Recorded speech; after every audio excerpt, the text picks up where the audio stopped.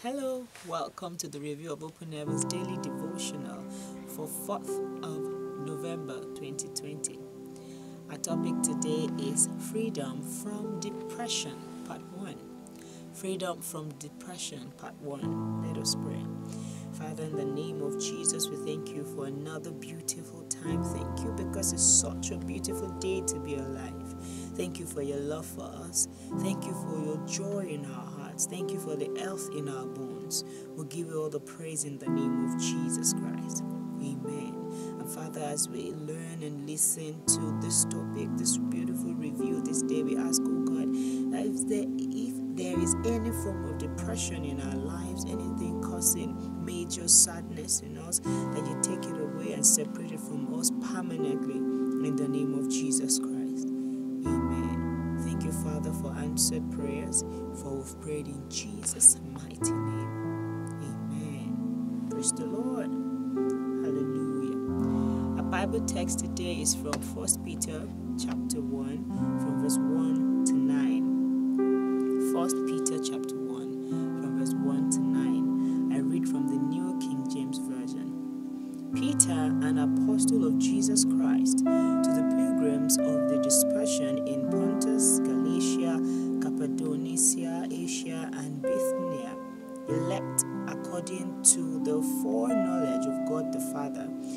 sanctification of the Spirit, for obedience and sprinkling of the blood of Jesus Christ.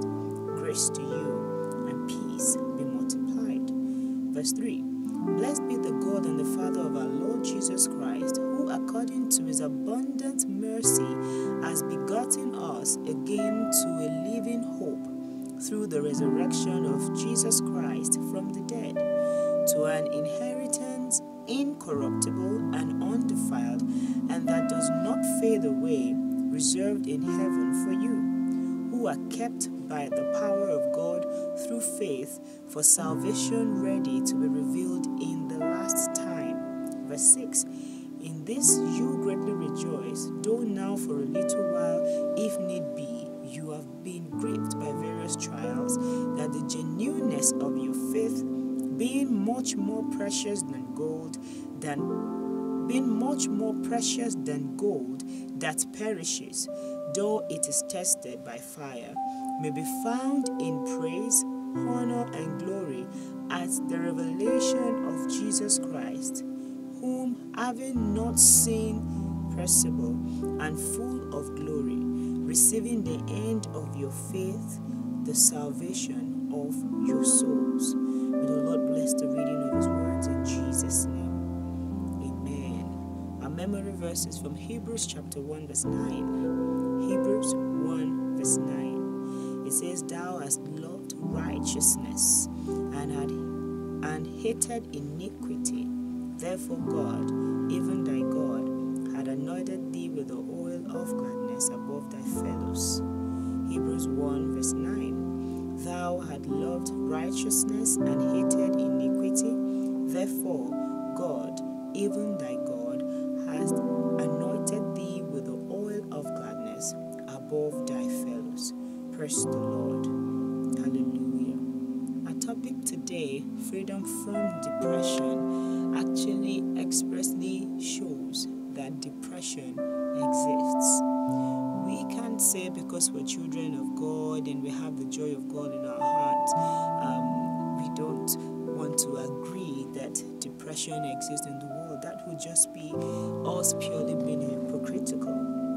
And when we see that you know people are depressed, we need to know that you know we have something that we can offer them that can take them out of depression. And what that is actually is Christ Jesus.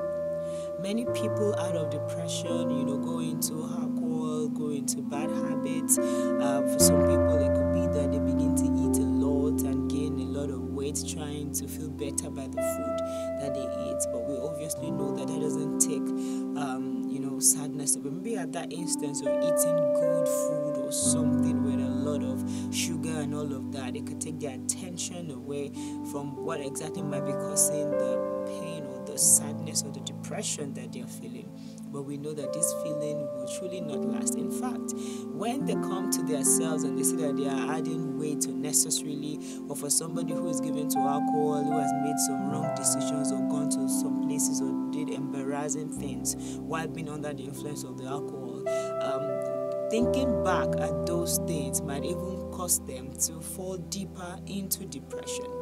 And I want you to encourage someone in your heart or someone in your neighborhood or someone around you today who you know is going through a sad patch or you know a, a rough moment that you know God is with them and that when they give their lives totally to Jesus Christ, they can get that joy that comes and totally replace every form of sadness that they might be feeling.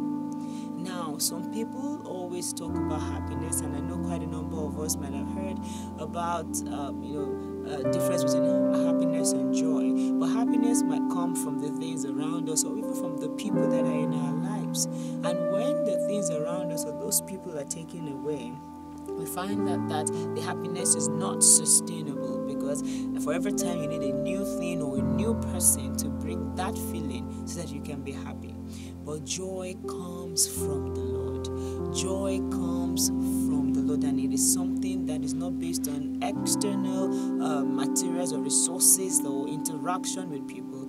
It is based on the presence of God and the presence of the Holy Spirit that is inside of us. Now we see from our Bible text, the verse 8 of that says, Whom not sin, yet ye love. That is showing that when Jesus Christ, or when you accept Jesus Christ as your personal Lord and Savior, even though you've not necessarily seen Him physically with your eyes, the love that you have for Him causes you know a lot of joy to well up in your heart.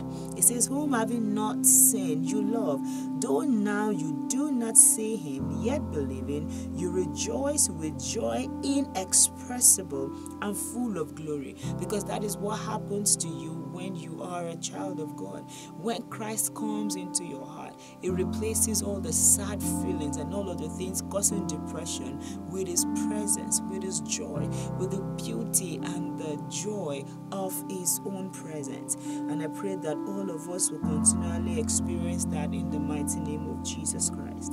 Amen if you're listening to me at this time watching this video and you feel depressed in any way, I want you to search your heart and find out whether you're truly a child of God.